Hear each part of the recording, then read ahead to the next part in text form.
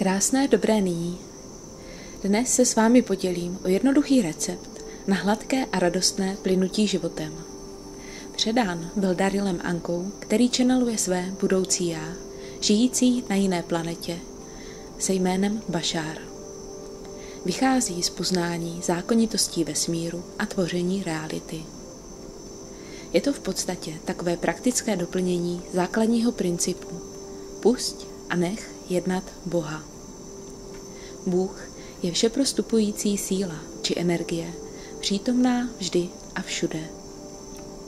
Připomeňme si, že ať už si přejeme něco konkrétního nebo obecně být v pohodě a šťastný, nejjednodušší a nejistější cestou je přenechat realizaci našeho přání dokonalé boží moudrosti a síle. Můžeme si uvědomit a vyjádřit náš záměr, případně provést nějaký rituál a pak to odevstat ve smíru. Vědět, že vše je již splněno tím nejlepším způsobem na cestě k nám a žít v tomto vědomí a trénovat stav bytí té verze našeho já, která má nebo prožívá to, co si přejeme. Není třeba vědět jak, ani vynakládat speciální snahu nebo logické postupy. Tím naplnění spíše zpomalíme. Naší rolí v tomto procesu je hlavně nestát tvořivé síle v cestě a spíš ji podporovat tím, že s ní budeme v souladu celým naším bytím i jednáním. Boží síla jedná i skrze nás a dává nám impulzy a inspiraci. A tady mnozí znejistí. Jak poznám, co mám vlastně dělat? S tím nám pomůže právě následující recept. Jak plynout každou chvíli v souladu se sílou zdroje a nejvyšší inspirací. I když třeba nemáme nějaký ohromný záměr nebo touhu, nebo pořádně nevíme, co vlastně chceme. Naše nejvyšší božské já nás stále vede co nejplnějšímu vyjádření a prožívání a v tomto harmonickém plynutí nalezneme také onu radost z bytí a žití. Recept je tedy následující. První krok. Jednej podle svého nadšení. Podle toho, co tě v danou chvíli naplňuje největším nadšením a radostí. Dělej to v každém okamžiku, kdy je to jen trochu možné. První krok je podstatou celého receptu. V každé chvíli si vyber tu dostupnou činnost nebo možnost, která tě naplňuje největším nadšením. To, co máš nejvíc chuť dělat, kde cítíš největší radost a energii. Nemusí to být hned nějaká zásadní velká věc. Může to být jít na procházku, zavolat příteli, něco napsat, cokoliv, co se v danou chvíli nabízí, nebo je to pro tebe možné a dostupné. A ze všech možných variant u této cítíš největší nadšení a chuť. Občas to může být zdánlivě nelogické a třeba vůbec nesouviset s tím, co si přeješ. Ale dostaneš se tak do dokonalého proudu, který k tobě přinese to nejlepší. Nadšení je hlas tvého vyššího já, které tě nasměrovalo určitým směrem a doufá, že se tímto směrem pohneš. Druhý krok. Dělej to, jak nejlépe umíš. Doveď to tak daleko, jak to jen půjde, dokud to nebudeš moci dotáhnout dál, anebo se objeví něco jiného, kde cítíš více nadšení. Ujisti se také, že nemáš nějaké přesvědčení, které by způsobilo, že bys předem tlumil své nadšení. Třetí krok. Jednej na základě svého nadšení, bez jakéhokoliv naléhání, předpokladů nebo očekávání výsledku. Velmi často nebude výsledek takový, jaký očekáváš nebo zamýšlíš. Tvé vyšší já zná ideální výsledek, ale tvá fyzická mysl ho ve skutečnosti nemůže znát předem. Samotná činnost nebo akce ti nemusí dávat vždy smysl. Ani to nemusí být tvůj finální cíl. Někdy nás dovede do místa, kam bychom se jinak nedostali a na tomto místě objevíme něco jiného, co nám přinese ještě více radosti nebo naplnění toho, co si přejeme. Čtvrtý krok. Rozhodni se zůstat v pozitivním stavu, bez ohledu na to, co se stane. Pokud se stane něco nežádoucího, tím, že i tehdy zůstaneš v pozitivním stavu, jsi schopen z této situace získat nějaký pozitivní prospěch. Pokud zůstaneš v pozitivním stavu, můžeš zjistit, jak ti to může prospěšně posloužit. Jakákoliv okolnost je vlastně neutrální, nemá v sobě předem definovaný žádný význam. Sám určuješ, zda má pozitivní nebo negativní přínos na základě toho, jaký smysl do této v zásadě neutrální situace promítneš. Pátý krok. Neustále zkoumej své systémy přesvědčení a uvolňuj a nahrazuj nepreferovaná přesvědčení. To jsou přesvědčení založená na strachu a přesvědčení, která nejsou v souladu s tím, kým chceš být. Dodržování tohoto receptu tak přesně, jak jen můžeš, aktivuje synchronicitu, která je organizačním principem celého vesmíru.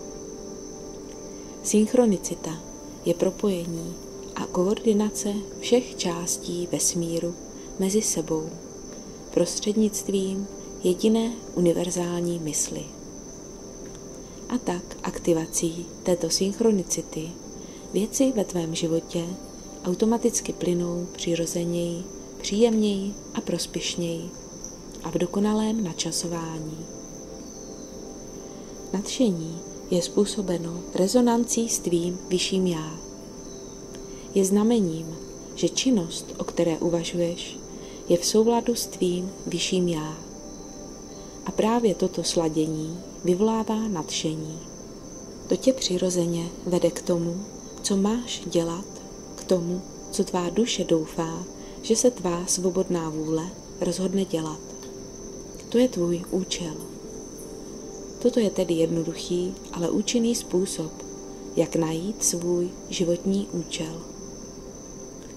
Z mechanického hlediska je nadšení vysoký stav rezonance, který nastává, když se myšlení a záměry já fyzické dimenze ostře sladí s myšlením a záměry vlastního vyššího já. Nadšení tedy slouží jako kompas, abys věděl, kdy jsi na správné cestě, kdy děláš nebo uvažuješ o tom, že děláš přesně to, co by tvé vyšší já právě rádo, abys dělal. Když se řídíš svým nadšením a děláš to, co tě naplňuje touto radostí, znamená to, že tato činnost je tvá, je skutečně v souladu s tvým bytím. Protože je to tvé, je pro tebe tato činnost bez námahy. Protože jsi to ty, vesmír tě bude podporovat, včetně finanční podpory, abys v této činnosti mohla pokračovat a to postupně se rozšiřujícím způsobem. Sledování tvého nadšení je sledování znamení, která ti dává tvé vyšší já, aby tě co nejpříjemnějším způsobem dovedlo k tomu, co doufá, že si tvá svobodná vůle zvolí, což je to též jako tvůj životní cíl. I kdyby následování tvého nadšení znamenalo udělat něco zdánlivě triviálního a nezajímavého, i tehdy to prostě udělej. Protože postup směrem k vykonání této zdánlivě všední věci tě může přivést k tomu, že potkáš někoho nebo objevíš něco, co je prostě dokonalé pro další rozvíjení tvého životního záměru. Největší nadšení nemusí mít podobu projektu nebo kariéry. Pokud nějaká možnost obsahuje alespoň o trochu více nadšení než jakákoliv jiná možnost, jednej nejprve podle ní. Nadšení je fyzický překlad sdělení tvé vyšší mysli skrze tvé tělo. Reaguj na něj tím, že budeš jednat. Při akci využij všechny své schopnosti, nadání, představivost a dovednosti. Jednej na základě tohoto nadšení s naprosto nulovým naléháním nebo předpokladem konkrétního výsledku. Pochop, že trvání na konkrétním výsledku, projevu nebo cestě může ve skutečnosti zabránit lepšímu projevu, než jsi představoval. Budeš-li takto jednat, nakonec splníš svůj životní záměr. Máš-li v realitě, kterou vytváříš, co dát, jsou zde lidé připraveni to přijmout. Ať už nabízíš cokoliv, najdou se lidé, kteří tuto nabídku přijmou a ocení. Dále je důležité, jdi za svým nadšením s integritou. Integrita neznamená nějakou konkrétní morální formu, ale uvědomění si, že vše je celek a ty jsi s tímto celkem jedno.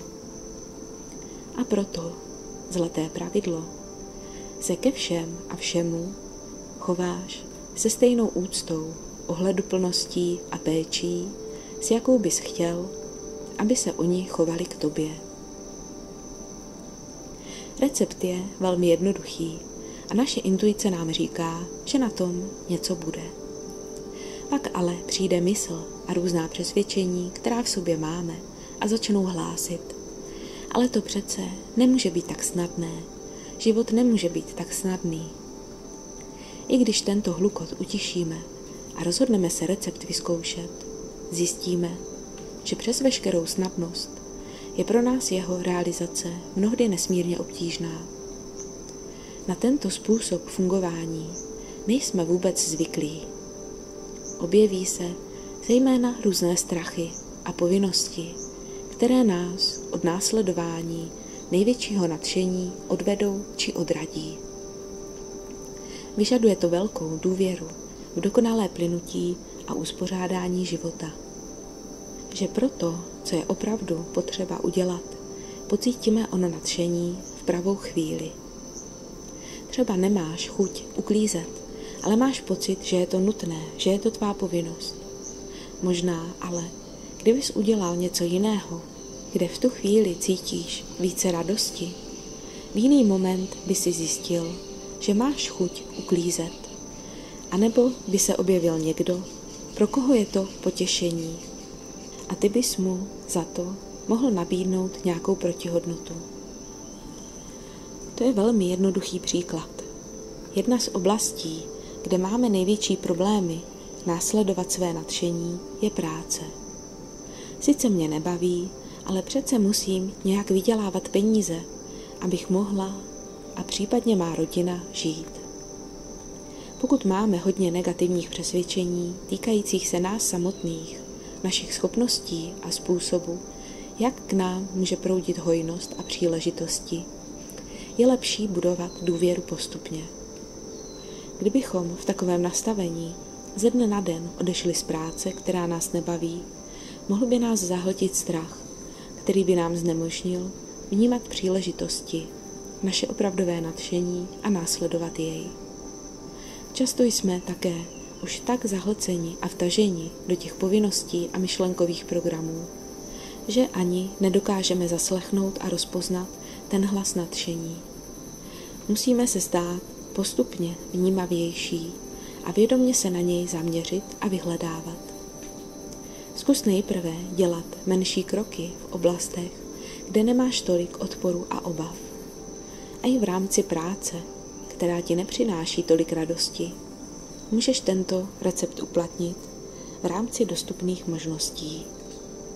Postupně si vybuduješ důvěru a nahradíš stará přesvědčení novými a bude pro tebe snadnější učinit zásadnější krok, anebo k tobě přijde příležitost, která ti tento krok usnadní.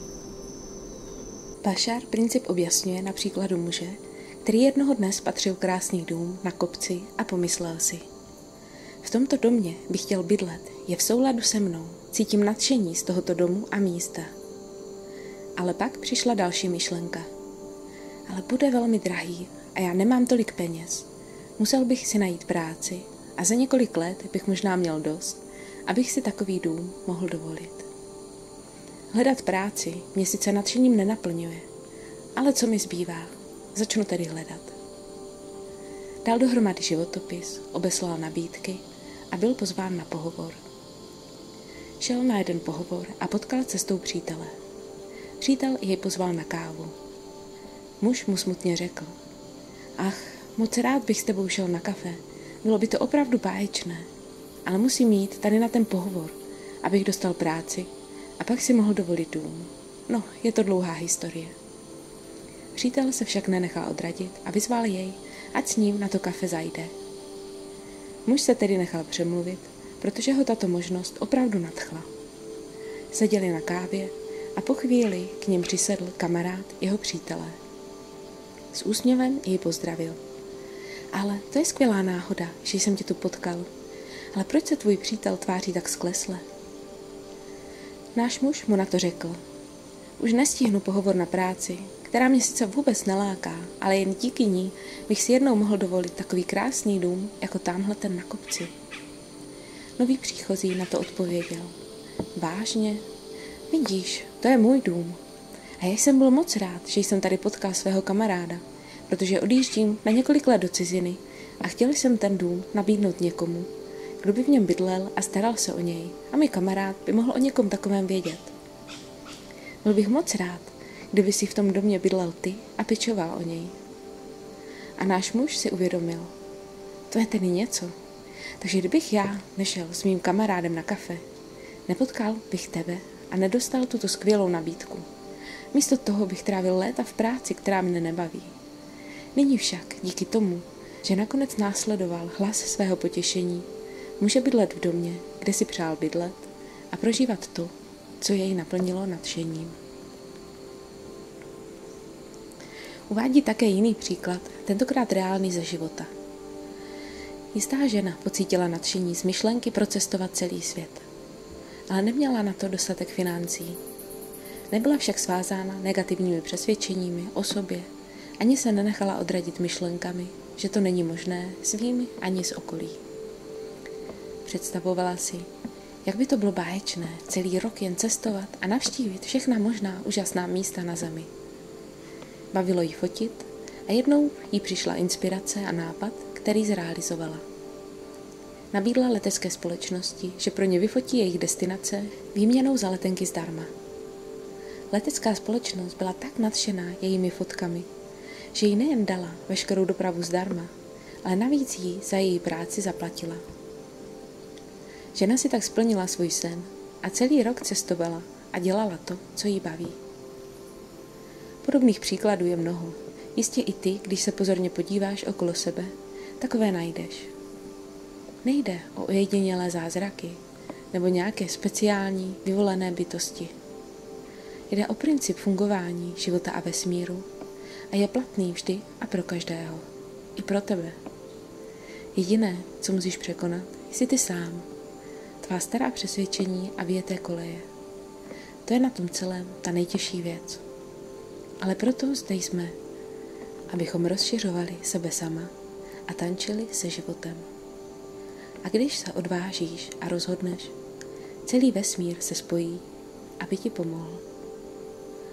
Zvu tě tedy, abys tento recept vyzkoušel a můžeš napsat do komentářů, jakou jsi měla zkušenost. Přeji ti krásné a radostné plynutí v proudu božího života.